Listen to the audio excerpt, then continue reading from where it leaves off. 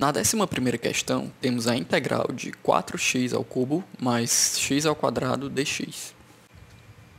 Como a integral é um operador linear, temos que a integral de f de x mais uma função g de x dx vai ser igual à integral de f de x dx mais a integral de g de x dx.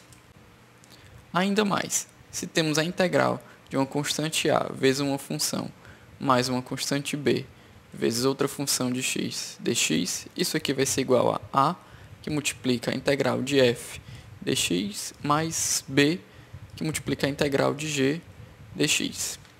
Aplicando essas propriedades na questão, temos que a integral de 4x ao cubo mais x ao quadrado dx vai ser igual à integral de 4x ao cubo dx mais a integral de x ao quadrado dx considerando 4x ao cubo como a f de x e x ao quadrado como a g de x.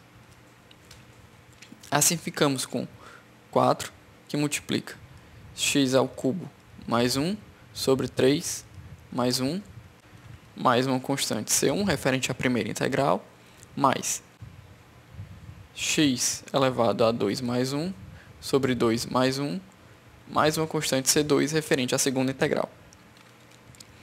Assim ficamos com 4 dividido por 4 dá 1.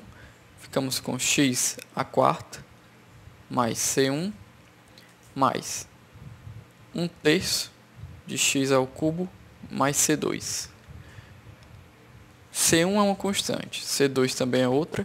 A soma de duas constantes também é outra constante. Então ficamos com x a quarta mais 1 terço de x ao cubo mais uma constante arbitrária c.